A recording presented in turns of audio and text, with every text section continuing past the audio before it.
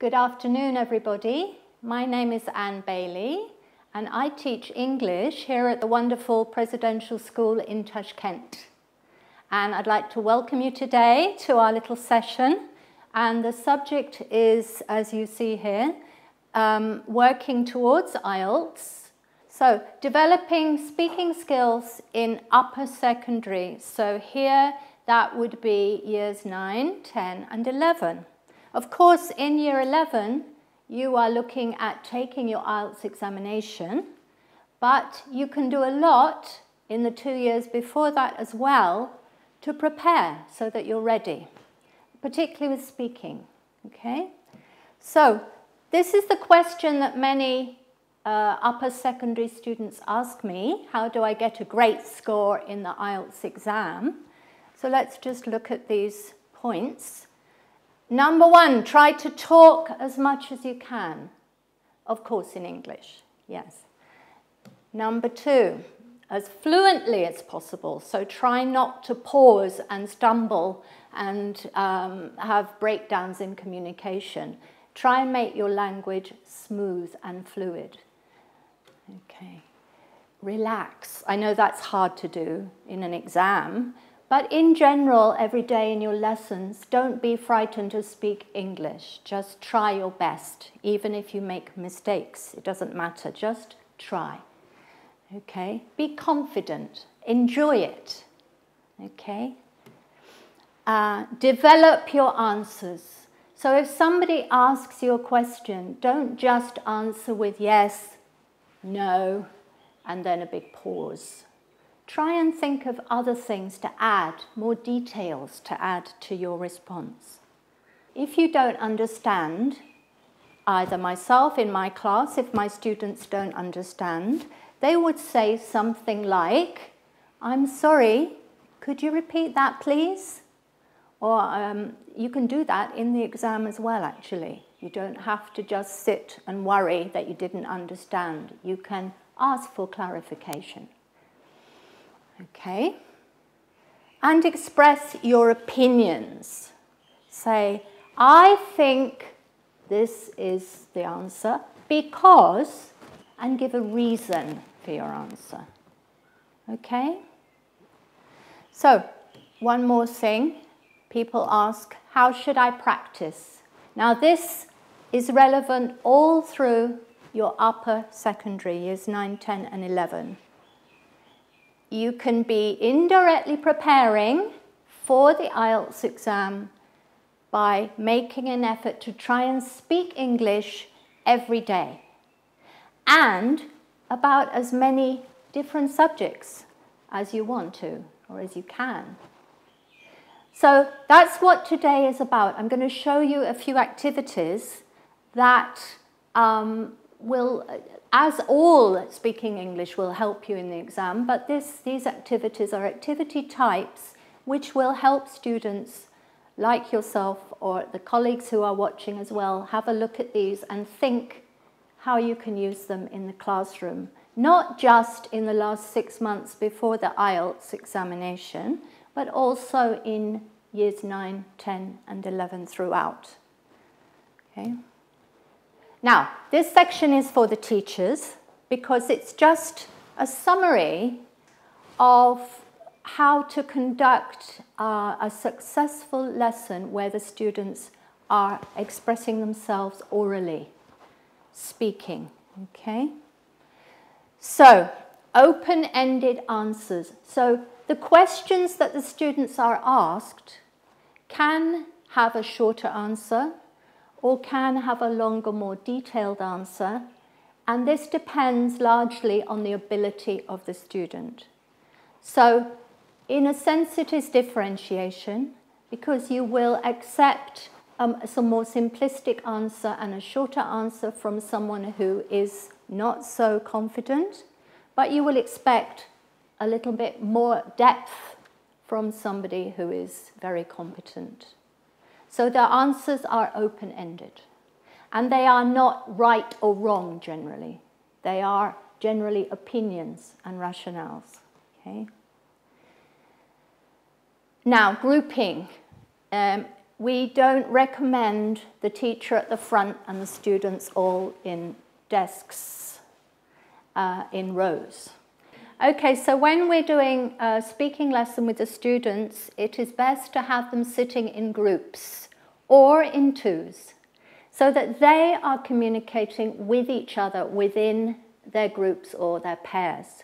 They can be sitting, maybe three or four students around a desk, one desk, so that they can communicate easily, or they can sit preferably opposite each other with one desk between them so that they can maintain eye contact and look at each other while they communicate. Um, Interaction patterns. So it's not all about the teacher talking to the students and the students talking to the teacher. It's much more about students talking to students. Students in pairs, students in groups, or students to the whole class. But it's not so much about student-teacher interaction. In fact, teacher talking time, which you will know about, is minimal in this kind of lesson. Much more focus is on the student talking time, and they are interacting with each other. So the role of the teacher changes. The teacher becomes the facilitator of the activity. The role of instructor is put aside, and the teacher facilitates what does that mean? That means she, she or he sets it up, sets up the activity, and then just monitors, walks around the room constantly, eavesdropping unobtrusively on the conversations, and giving help when asked or when uh, she or he feels there is a breakdown in communication. So the teacher's role is the facilitator. The students collaborate. They are learning through collaboration. Collaborative learning is occurring in this kind of lesson. We have a lot of peer cooperation and peer consultation. So the teacher is not the main focus again.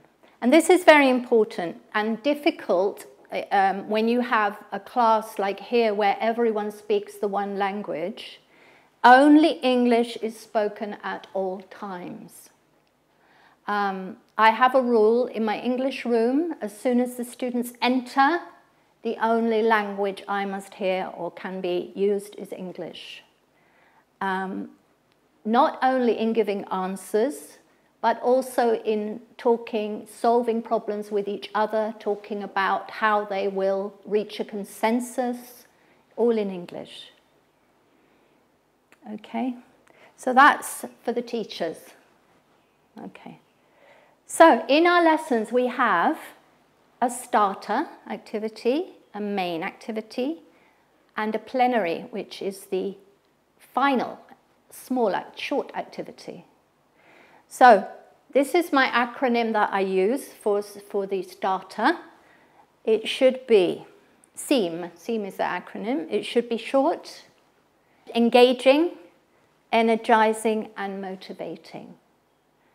So what do I mean? Energizing it, they don't have to jump around and, and move physically, although they can in some activities.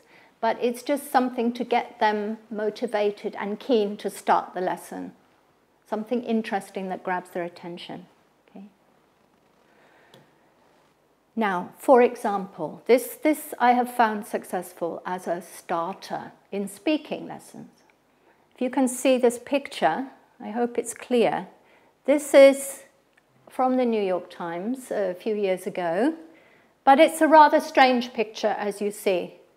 So what I ask the students to do in their groups is to discuss what they think is happening in the picture.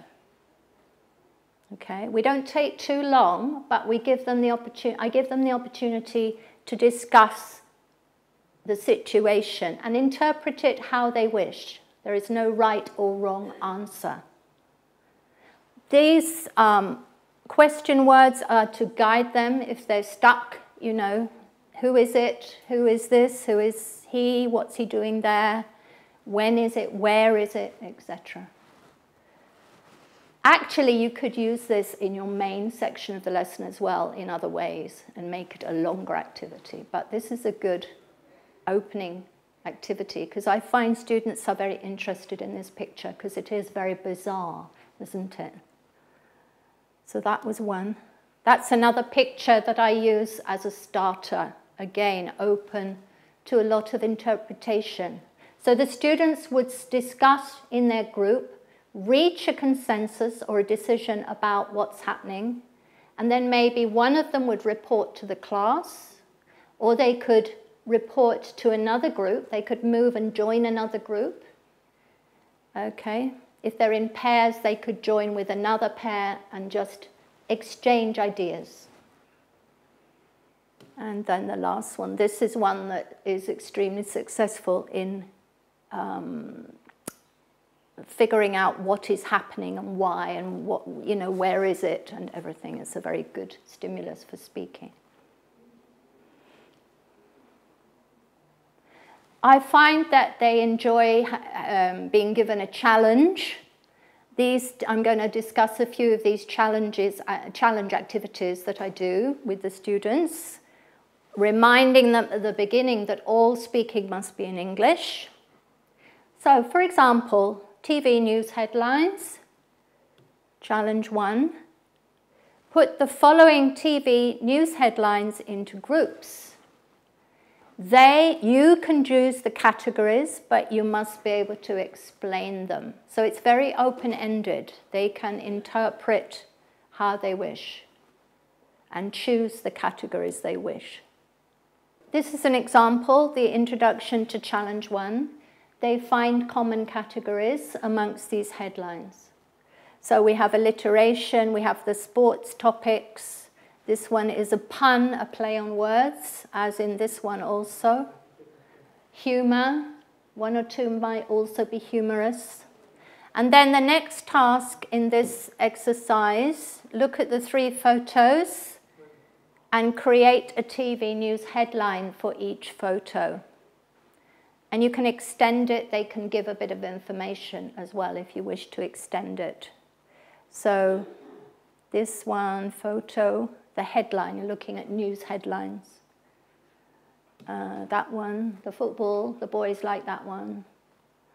And this one. Okay, so it, it's easy to find these, this kind of photo and to decide which one would appeal to your class. Running a restaurant is another example of using uh, statistic-based information to reach a consensus in their groups or in their pairs. You are the owners of a new restaurant and you need to make decisions about organizing your business, product sales, hours of operation, and staffing. And this information will help you decide.